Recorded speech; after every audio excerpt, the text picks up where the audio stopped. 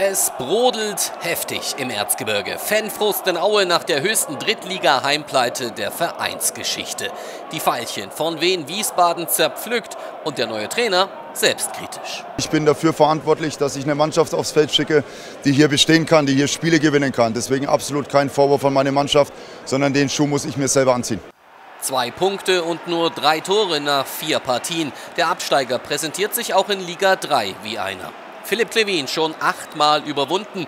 Gegen Wiesbaden war er gleich fünfmal machtlos. Und das lag nicht nur an Sonntagsschüssen wie diesem hier von Timon Goppel, sondern vor allem auch am desolaten Defensivverhalten seiner Vorderleute. Aue, aktuell im freien Fall und die Fans mit einer klaren Botschaft. Die Ultras singen aus Protest schon während der Partie ihre Banner ab. Beim FC Erzgebirge herrscht Alarmstufe Rot. Dass wir die Fans so schnell nicht mehr zurückkriegen, ähm, ja, das werde ich dem einen oder anderen auch sagen. Das ist nicht so einfach.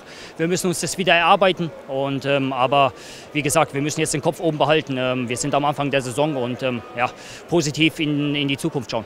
Die nächsten Aufgaben haben es allerdings in sich am Samstag. Live zu sehen bei Sport im Osten geht es nach Saarbrücken und dann kommt Dynamo Dresden zum Sachsengipfel.